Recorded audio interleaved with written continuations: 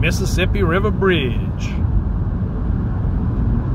Baton Rouge, the capital of Louisiana.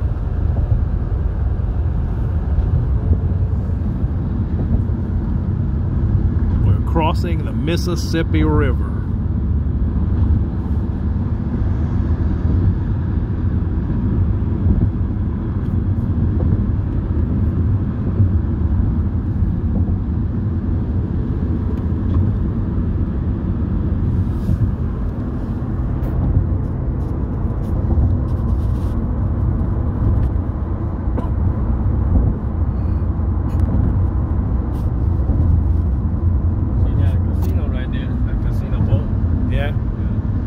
That's the state capitol in the distance, that tower. You like casinos? No.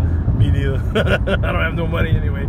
I don't gamble. You know, with, with my cousin, he he, he gamble. I, I would be his designated driver. Yeah, because you get drink. drunk, huh? So yeah, he get drunk. that's the only time I constantly go. For I-110 north toward bus, District Metro Airport. But normally I don't go.